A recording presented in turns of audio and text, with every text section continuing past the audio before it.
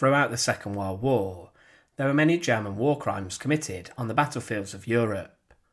There were death squads who would follow the advancements of the German army. They would then gather up groups of civilians and then slaughter them in graves they ordered the victims to dig themselves. But the Hitler Youth would be also on the front line, and these were dangerous groups of teenagers who were fanatical Nazis and had been indoctrinated for years. Hitler wanted the Hitler Youth to lay down their lives for the Nazi Party and Germany, and they would. But there was a group of teenage Hitler Youth members who would become executioners, and they would be responsible for the slaughter of hundreds of Allied soldiers during the war. They especially were involved in the executions of many men who should have been taken as prisoners of war following the Normandy landings.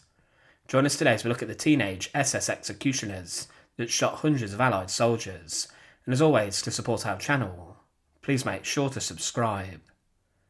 The 12th SS Panzer Division Hitlerjugend was part of a plan devised by Arthur Axmann to bring Hitler Youth members into the Second World War. He presented this to Heinrich Himmler, who consented that Hitler Youth members born in 1926 and were around 16 or 17 were to be accepted as part of a Waffen SS division. Hitler approved this, and the boys were then recruited. Around 2,000 boys were brought in to the division, this would grow to around 16,000 recruits, who were then sent for training in Belgium. But this was not a normal SS division, as the boys were heavily indoctrinated, and one member said, In the Waffen SS you couldn't do anything if an Unterführer hit you during the training. The purpose of the training is to make you just as they are, it's pure sadism. With this, the boys who made up the 12th SS Panzer Division Hitlerjugend were then made part of the 1st SS Panzer Corps. They were then moved to Caen in Normandy before the D Day invasion took place, and they had by this time around 150 tanks at their disposal. They would be kitted out with Panzer IVs and other pieces of heavy artillery, but the Hitler Youth Division were notorious for the war crimes they would carry out. The heavy brainwashing they were subjected to led to many to believe that they were justified in slaughtering any civilians who were not part of the German army.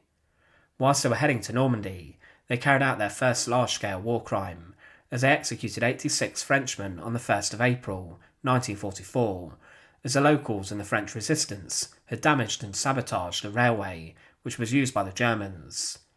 They then rounded up all of the men who had houses on each side of the railway tracks, and then 70 men were shot at the side of the line, and inside of the village they killed another 16. The commander of the convoy, Walter Hauck, who would order this, was later sentenced to death for this, but he would escape execution, and he was then sentenced to life imprisonment.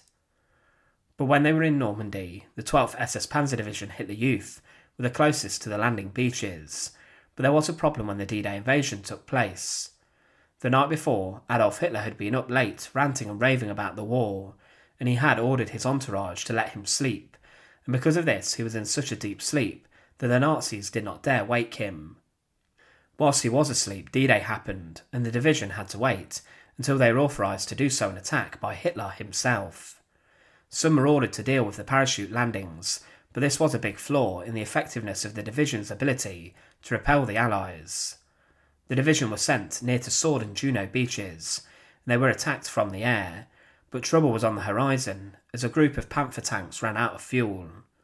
Their organisation was not the greatest, but at 10am on the 7th of June, D Day plus one, the SS Division moved towards Caen. They were told to stop the Canadian advances from Juno and to drive them back to the coast, but they could not break through the Canadian assaults, despite being backed up by other panzer divisions. Fifteen tanks from the Hitler Youth Division were destroyed, and despite pushing some Canadian soldiers back, they could not repel them at all. They could not repel them all. At the end of the day, the 12th SS were forced to retreat, and even the enemy was confused at their decision making, focusing on the stronger points of the Allied assault rather than exploiting the Allied weaknesses. But further attacks continued against the Canadians in the days and weeks after D Day, and let's remember that these were very young soldiers fighting in the heat of the battle in Normandy. However, they would also commit another massacre on the day after D Day, as they would round up 20 prisoners of war and would shoot them in the back of the head in the Ardennes Abbey massacre. The executioners were categorically stated to have been the 12th SS Panzer Division Hitler Youth, who were known for their fanaticism, and the fact that they were plucked from the Hitler Youth and were very young. As they were fleeing from France, they did continue to execute civilians, and they slaughtered 34 French men and women in the towns of Plomion and Tavaux. The fighting around Normandy had seen the Hitler Youth Division depleted, with around 8,000 men dying or being captured. 80% of its tanks were lost, and huge scores of its artillery and other vehicles also perished. It was a complete disaster. But the division continued to fight on despite the heavy losses that they did sustain. They would be involved in the Battle of the Bulge or the Ardennes offensive. They were attached to the 6th SS Panzer Army, and when they reached the front, they suffered heavy resistance, they could not move the Germans who had dug in. The 12th SS Panzer Division Hitler Youth had been decimated by this point, and they only had 26 tanks and guns left, and the numbers of soldiers were heavily depleted. The remaining men were ordered to Hungary to be part of an attack on the oil fields there, and they took part in other smaller attacks and offensives, but the remaining men would all surrender as the war came to an end. Throughout their time in service during the Second World War, the 12th SS Panzer Division Hitlerjugend had been part of some of the most important defensive operations that Hitler had to throw at the Allies. But ultimately, every single one of them failed, and the division were pushed back heavily each time, and they did suffer extremely heavy losses.